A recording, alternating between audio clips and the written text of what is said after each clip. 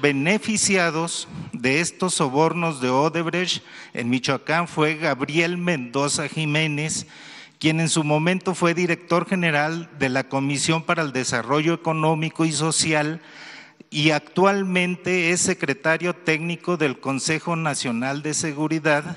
Eh, presidente, la semana pasada publicamos que en 2006 Odebrecht eh, pagó sobornos para la construcción de la presa Francisco J. Mujica en Michoacán.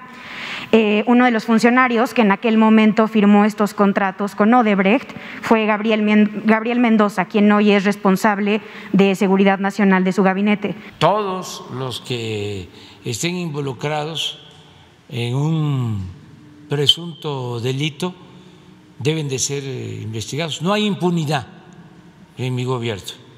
Bueno, pues si hay investigaciones en curso sobre este asunto, se tienen que atender y a nosotros nos corresponde también revisar si hay eh, investigaciones en contra de estos funcionarios públicos.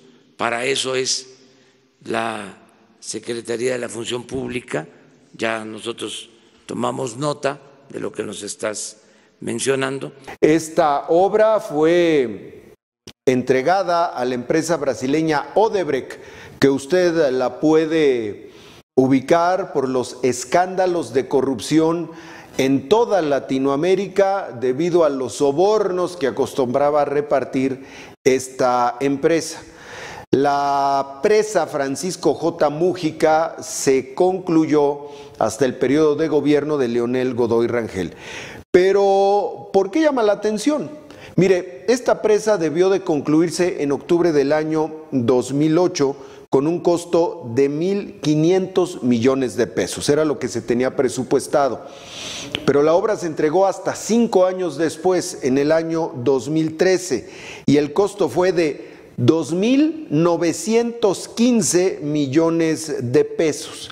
O sea, se duplicó el precio de la obra y además se entregó hasta cinco años después por haber sido la presa la empresa brasileña Odebrecht la responsable, se tienen fundadas sospechas de que pudo existir corrupción en la obra. Esto se le preguntó al presidente de la República que se comprometió a realizar una investigación exhaustiva respecto al tema.